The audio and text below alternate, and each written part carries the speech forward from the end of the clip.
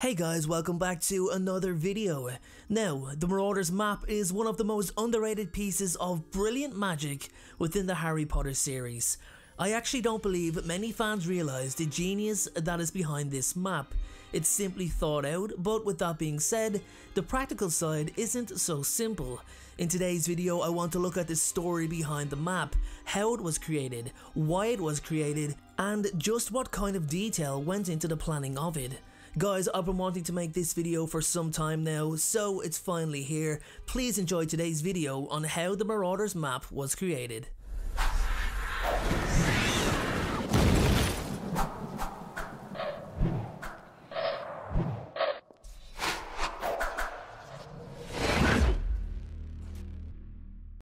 Welcome back guys and thank you for sticking with me through the last couple of weeks. Anyway, let's get to it. The Marauders map is really famous amongst Harry Potter fans, despite so few people in the books being aware of its existence. It's an incredibly brilliant piece of magic and it's clear as day that it would have taken quite some time to make. Now the thing with the map is that it's not one of those objects that's been around for centuries and has this stigma or aura around it. It doesn't have that kind of history. It only made its way through two generations, and that was with a confiscation in between. I think it's right to assume that the boys wanted to leave the map behind so it could be passed on to future students who may have had use for it. Anyway, let's just take a brief look at how the map works for a moment. It has two incantations to lock and unlock it. Saying the words, I solemnly swear I am up to no good, allows the map holder to have full access to its power. Saying the words mischief managed closes the map's locating abilities and has it appear like a blank piece of parchment. Now the map can track and trace everyone and anyone in the vicinity of the Hogwarts grounds, even as they move, and that's something we'll look at a little later on. Now James, Sirius, Remus and Peter were known for being the jokesters of the year, and they would have done anything possible to avoid being seen by their teachers, so with that, they decide to take on the daunting task of creating the first ever live location map. It took over three years to make between the years of 1975 to 1978, and as I said, wasn't made without difficulty. So, in order to create the map, the boys would have needed to thoroughly prepare and plan out everything, starting with the material that it was made from. They decided on using parchment, which was more common than blank paper in the wizarding world. I also believe that an anti-tear or anti-destructive charm was placed over the parchment in order to preserve it as the years went on. It was important to make sure that the map actually lasted the test of time, so the next thing to do would be to map out the entirety of Hogwarts, which is where the difficulty comes into play. It's not just the Hogwarts castle that needs to be covered, it's the entire grounds, the Quidditch pitch, Hagrid's hut, the lake, the dark forest. It's absolutely everywhere and it needs to be done in the finest detail. It really is no surprise it took 3 years to finish just from mapping alone. Anyway, the next thing to address will be how to track every single person in the school, which would almost seem like an impossible task. Every time new students would enter the school each year, they'd have to be sought out and tracked, and so on and so on every single year. It may not work if they venture too far outside the grounds, it just seems messy and surely there has to be a more practical way, a more practical setup. Step up the homunculus charm. What does the homunculus charm do? Well, it does the complete opposite of tracking individuals.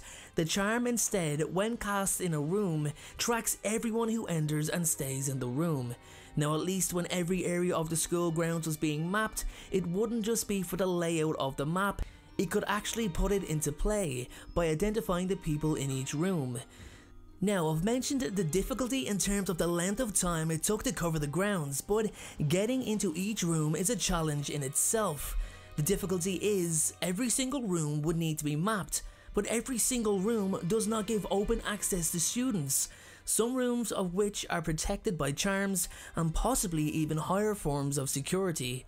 However, and this is a big however, when it comes to rooms being protected, has anyone noticed it only ever seems to be the door that's enchanted, so that doesn't mean there isn't other ways of gaining entry. Cracks, crevices, windows are all there for the taking. Step up Peter Pettigrew, who would easily come to the rescue, being able to dislocate his bones in his rat form and slip through any holes necessary. With the rest of the boys in their animagus forms, they could easily move across the school grounds without detection. Nobody is going to think much of a black dog or a stag wandering about the grounds. Peter would be able to get into the majority of places that presented any difficulty, even Dumbledore's office, McGonagall's office, Snape's office. As a matter of interest, I'm still surprised how none of the teachers ever detected the magic that they were basically surrounded by for so many years, especially Albus Dumbledore. Wormtail, as you'd expect, would take great pleasure eagerly reminding James, Sirius and Remus of his importance to the group and the map's creation. Transferring everything to the map would also take time.